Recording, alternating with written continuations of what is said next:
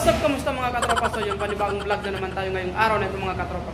At ayun nga mga katropa, dito tayo ngayon sa restaurant kung saan tayo nagtatrabaho. So may duty tayo ngayon mga katropa. At uh, kasalukuyang wala pa kaming customer ngayon. So mag-vlog muna tayo mga katropa at magkukwentuhan. So bago natin simulan, huwag niyo kalimutan i-subscribe at papindot na rin ang malit na kampana para lagi tayong updated sa mga gagawin nating video. So let's go!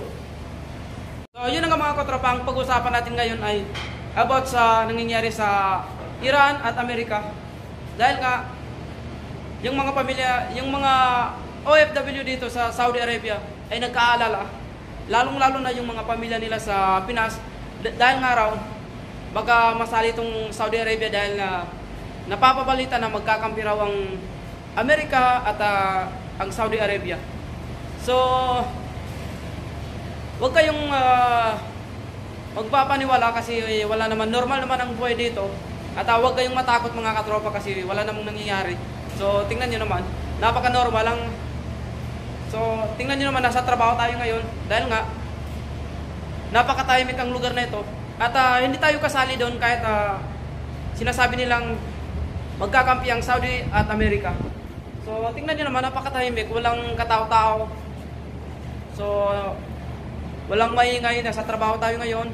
So, tulad pa rin ng dati, kain, tulog, trabaho lang ang ginagawa natin dito. So, walang pakialam ang Saudi sa mga nangyayari sa Iran at Amerika. So, sa mga sa mga kababayan kong OFW dito sa Saudi Arabia, so wag na kayong mag-alala dahil ah,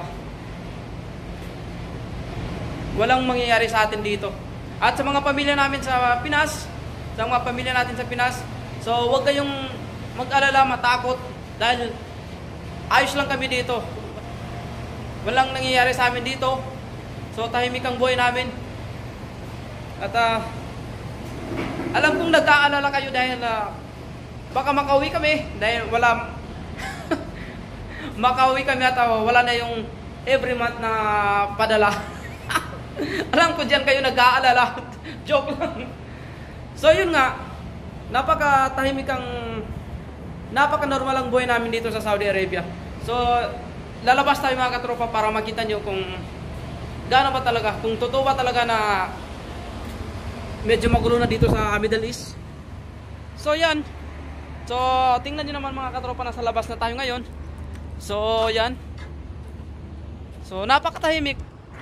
So tingnan nyo naman, walang kagulo-gulo mga katropa. Ah, Sa bagay, naiintindihan ko naman yung mga kasamaan kong kababayan kong OFW dito dahil nga merong napapapalitan na tatapunan ng Iran ang Amerika. So mama, teka muna kasi may customer ako. Burger. Burger bas aywa ah. sandwich sandwich. Sandwich aywa lel lel. Ah maapi na. So tingnan naman kabsa? Kabsa rus ay, yun na, pi. Kabsa na.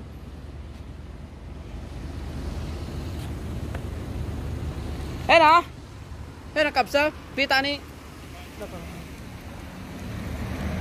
So, yan.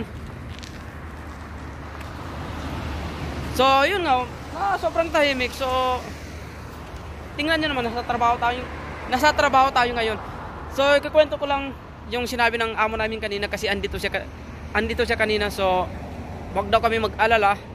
Ah, wag kaming matakot dahil ah, walang mangyayari sa amin dito sa mga OFW kasi hindi naman tayo kasali.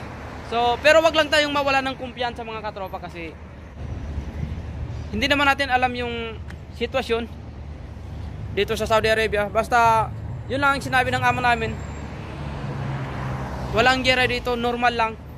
So, mga news sa bali-balita lang yung mga naririnig natin. So, yan mga katropa. So, napaka-normal lang buhay namin ngayon.